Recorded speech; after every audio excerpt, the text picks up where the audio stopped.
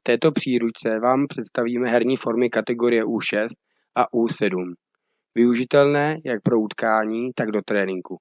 Není potřeba spěchat ke hře 4 plus 1. Taková utkání můžeme bez problému zařadit až na konci kategorie U7, například v květnu, v červnu. Příručka navazuje na metodické video herní koncepce mladších přípravek.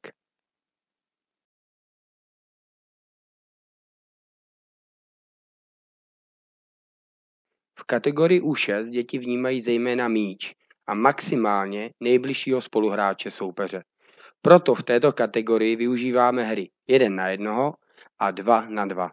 V U6 nespěcháme k utkáním. Zpočátku stačí, pokud děti hrají na tréninku mezi sebou. První utkání můžeme sehrát až v závěru sezóny, před přechodem do U7.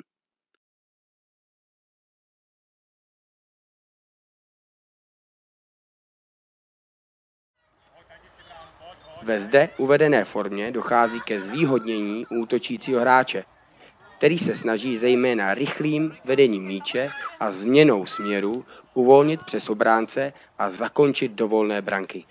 Již v této kategorii ukazujeme hráčům výhodu vedení míče malíčkem, tedy vzdálenější části nohy od soupeře. Hráče nabádáme k tomu, aby zakončoval ze vzdálenosti, kdy je schopný vstřelit branku. Nejde tedy o nakopnutí míče z dálky, ale ani nevodí míč až na brankovou čáru. Pojďme se nechat hrát na hřišti více dvojic na jednou. Získají více herních zkušeností, zároveň zvýšíme nároky na orientaci v prostoru. Aby nedocházelo pouze k přetlačování o míč, nechávají obránci útočníka vyjet od branky a následně by se měli snažit před útočníka natlačit tělo, rameno a nohou odebrat míč. Zde obránce šahá po míči pouze nohou.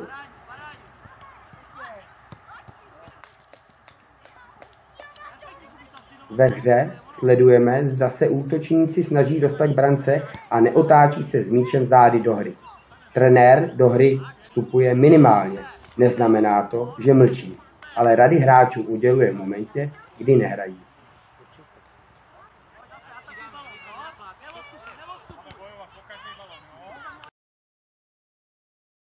Obtížnější variantou je klasická hra na dvě branky. Zde vidíme kombinaci využití klasických branek, do kterých platí gól střelou a branek ze zapichovacích tyčí, kterými hráči musí proběhnout a míč za brankou zašlápnout. Tím dochází k podpoře dovednosti vedení míče a zároveň si tak můžeme pomoci, pokud nemáme dostatek malých branek. Bránící hráče vedeme ke snaze získat míč co nejdříve. Nenecháváme je stát v bráně. Zde jde o organizaci v tréninku U7, kdy na nejbližším hřišti se hraje Liga mistrů a na hřišti nejvzdálenějším okresní přebor. Po určitém čase utkání končí a vítězové se posouvají na hřiště směrem k Lize mistrů a poražení sestupují na hřiště směrem k okresnímu přeboru. Tím je zajištěn emoční náboj hry, kdy se hráči snaží vyhrát či dostat do ligy mistrů. Zároveň se díky postupům a sestupům potkávají na hřištích vyrovnané dvojce. Pokud již děti hru znají, dokáží sami odhadnout, na kterém hřišti by chtěli začít. Jako motivace pro hráče, kteří se do lig mistrů nedostanou, může být výzva, komu se podaří nejvíckrát postoupit. Okolo hřišť je dobré mít dostatek míčů, aby hra probíhala plynule. Pokud míč zakopnou, po cestě pro něj vlastně odpočívají, proto můžeme nechat delší interval. Interval hry doporučujeme 2 až 5 minut. Nejde tedy o 20 až 30 vteřinové intervaly.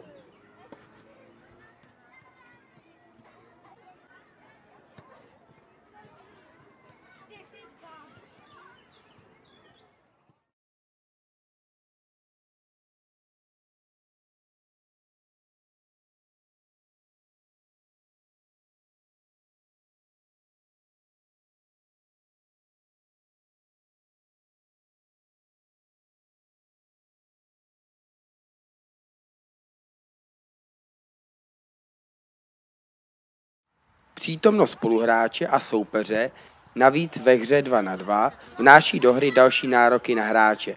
Významná je možnost rozhodování, zda přihrát spoluhráči či útočit individuálně. Přímočarost a odvaha hráče je stále na prvním místě. Přesto již přihrávku dětem ukazujeme a snahu o ní podporujeme. Přihrávka by však měla být do výhodnější pozice spoluhráči, anebo ve chvíli, pokud nemohu pokračovat v akci sám. Druhým významným prvkem je hráč na hřišti, který nemá míč. Učíme ho hledat si na hřišti prostor, nabízet se a naopak při obrané činnosti se dostávat do takového postavení, aby mohl pomoci spoluhráči, který napadá hráče s míčem a zároveň zvládal bránit nabíhajícího soupeře. Již odmala je potřeba učit hráče hru bez míče, tedy to, že nemá míč, neznamená, že neovlivňují hru.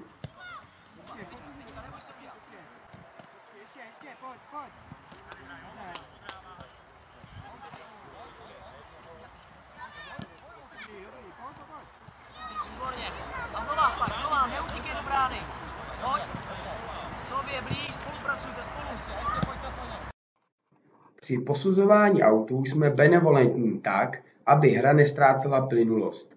Při rozehrávání autů či hry od branky vysvětlujeme dětem výhodu rychlého rozehrání. Správnost rozhodování přichází z herní zkušeností.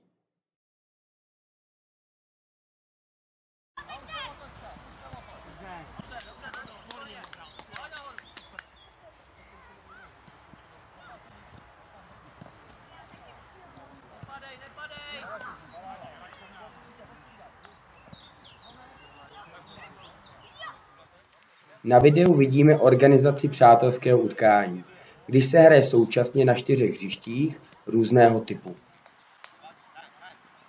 Děti si postupně vyzkouší všechny hřiště, anebo hrají formou, která je pro ně nejvhodnější. Nebojme se hrát zápasy bez střídání. Pokud máme hráče na střídání, využijme toho a rozebírejme s ním třeba dění na hřišti.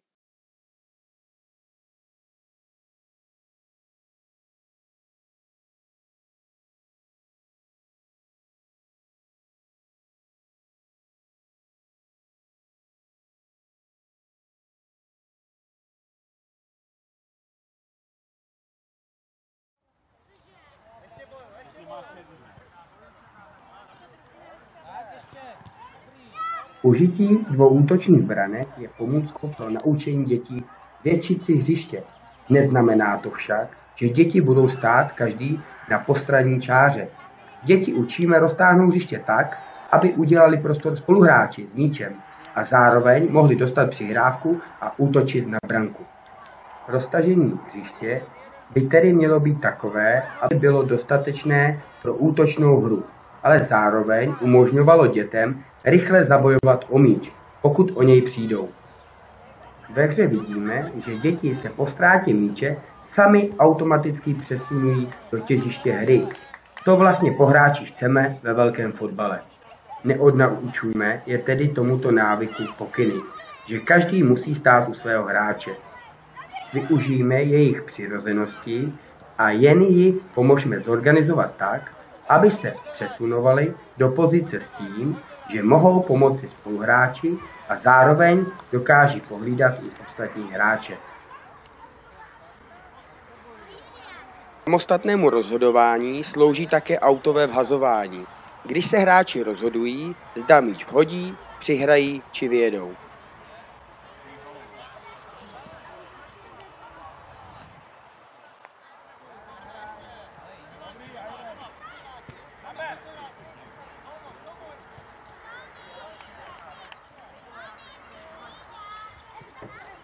Ve hře si opět nevšímejme pouze dění okolo míče, ale podívejme se také na hráče, kteří jsou od něj nejdále, zda reagují na situaci a jsou připraveni hrát. Přibývajícím počtem hráčů mají děti větší tendenci vypadávat ze hry, pokud nejsou v dosahu míče. Do budoucna je však dobrá hra bez míče předpokladem k úspěchu. Vzadu vidíme trenéra věnujícího se střídajícím hráčům.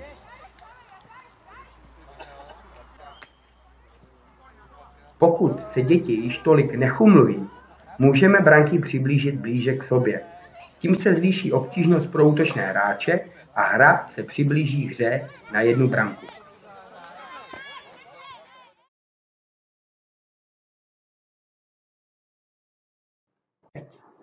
Vhodným přechodem před hrou 4 plus 1 je hra 2 na 2 s brankáři. Menší počet hráčů umožňuje dětem snažší pochopení principů hry, kdy od branky rozehrává brankář. V pokutovém území je volná přihrávka a hráči v poli si hledají prostor ideálně tak, aby nebyli na stejné straně. Brankář může přihrávat či výjíždět. V této hře již také rozehráváme rohy, kdy se děti učí na ně nabíhat a rozehrávat je cíleně po zemi.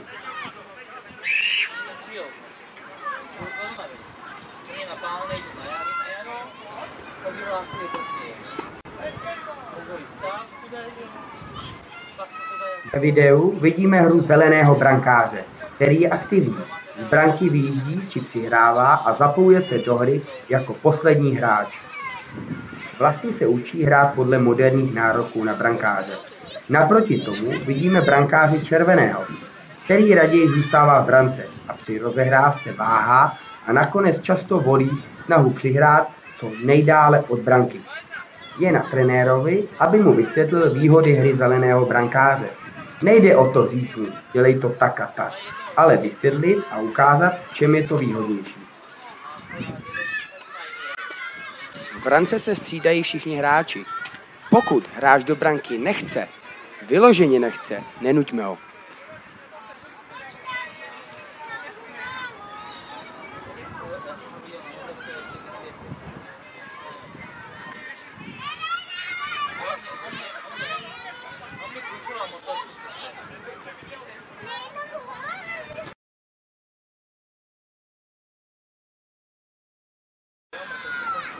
Velikost branek nutí útočníky mířit a soustředit se na zakončení. Zároveň se útočníci učí dobíhat střely a dohrávat útočné situace.